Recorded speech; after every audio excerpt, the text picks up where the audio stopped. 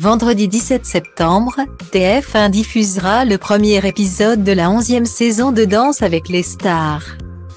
Après deux ans d'absence en raison de la crise sanitaire, les téléspectateurs meurent d'envie de revoir le show présenté par Camille Combal et Karine Ferry, qui a annoncé des gros changements. Le casting Dicta Ventez, Jean-Baptiste Monnier, Bilal Hassani ou encore la chanteuse Wejden, l'ancien candidat de Koh-Lanta Moussa et la chanteuse Laham. En effet, l'émission phare de TF1 marque également son grand retour médiatique. D'ailleurs, l'interprète de Petite Sœur n'a pas hésité à imposer ses conditions avant d'accepter de participer à l'émission. Lors d'une conférence de presse relayée notamment par Télé Loisirs, Laham a confié avoir eu certaines exigences auprès de la production.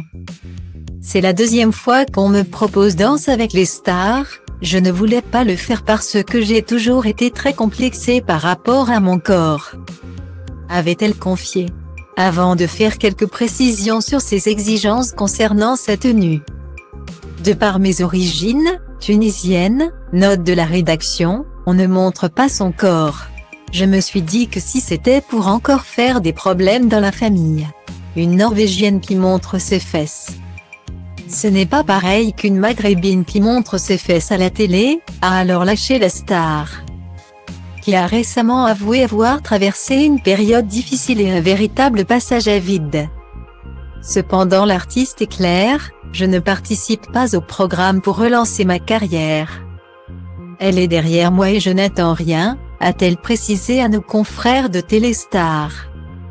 À deux semaines du premier prime, les candidats ont débuté les entraînements. Et une chose est sûre, ce n'est pas de tout repos.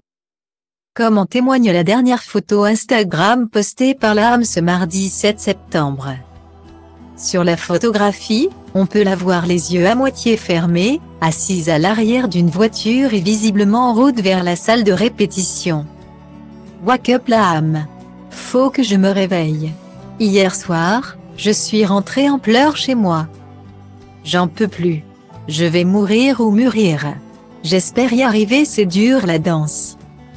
Respect à tous les danseurs dansés avec les stars dur dur courbe Arthur, a-t-elle écrit en légende de sa publication. Heureusement, l'âme a pu compter sur le soutien de ses abonnés, qui n'ont pas manqué de la soutenir dans les commentaires. De quoi la reboster avant sa première danse.